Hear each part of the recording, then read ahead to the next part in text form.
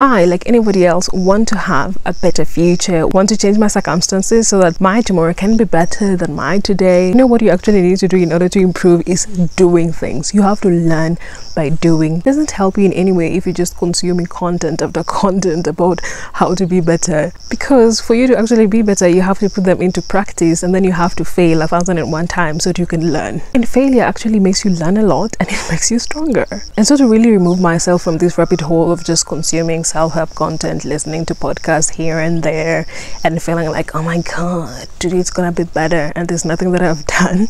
I challenged myself to use my skills to do something and then try and learn. So I actually started a TikTok account and started talking about my life experience in France, and that is one of the most important choices that I actually made in my life because it has built me professionally and also personally. In professional terms, it has actually made me a better storyteller, a better communicator, a better marketer because now I am putting the strategies that I learned in school into practice. It also made it very clear for me that I actually like content creating and I want to do this for the rest of my life, amongst other things, because I actually like being in front of the camera. I like sharing my ideas and finding different points of view. I always wanted to be a news anchor, a journalist. I even went to school to study that for my first degree. I studied film production, radio production, TV production. And I realized I actually don't want to work as a journalist because I just don't like how you're not supposed to have an opinion. That's why this YouTube channel is actually the perfect thing for me because I get to share my ideas. I also get to explore other ideas. I've also learned that I'm very much interested in how human beings think, in how human beings behave, and what informs human behavior. That is psychology and sociology. And actually, this is also very important in marketing because marketing is actually about influencing or trying to change people's behaviors. I've also had to ask myself questions about whether I want to work in a corporate environment. Does it serve me? Does it help me grow? Because now I know exactly how I want to use my skills in my career, how I want to impact people. I'm not interested in just sitting in an office building a company's brand that actually doesn't care about people, doesn't care about how it impacts people's lives. That's why me doing my own thing makes much more sense. Definitely not easy, but it's definitely fulfilling. I've also gotten comfortable with failing. You know, with creating, at times you create something and you think this is going to hit, and then it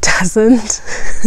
you feel like it's a stab but actually it happens so many times until you actually get used to it it's part of the learning process and in turn this has taught me about self-worth because at first, I used to actually think that the more views I get, the more worthy I am, or my value lies in the amount of followers and likes that I have. I'm valuable as I am because I know the amount of work that I put into my work. There are times that you will do something and it doesn't work, but it doesn't mean that I am not qualified. Because again, I have proof of so many instances where whatever it is that I have done has actually worked. So I've also learned to try not to define myself based on things that I actually cannot control. Things like views and comments comments and shares and followers on social media i cannot control that it's actually pointless to try and measure myself based on that because there's so many factors that go into all of that on a personal level what i've really learned from creating almost every single day on tiktok for a very long time is that it's okay to try different things it's okay to always change your mind i mean i've really tried so many things while trying to find my niche i've shared my experiences living in france shared about brand storytelling at some point shared about about some sociological perspectives that I have about the society we live in. I've also talked about luxury handbags. Then now I've actually found something that I actually want to focus on, which is learning about menstrual health. So it has actually been a journey and I have developed so much confidence in myself because I realize I have such great ideas and it's actually good to put them into practice so that you can actually know whether they work or not. The one thing that is always holding a lot of creatives back is that we have so many ideas and we get stuck up in being like oh my god which idea is good? Which one is bad?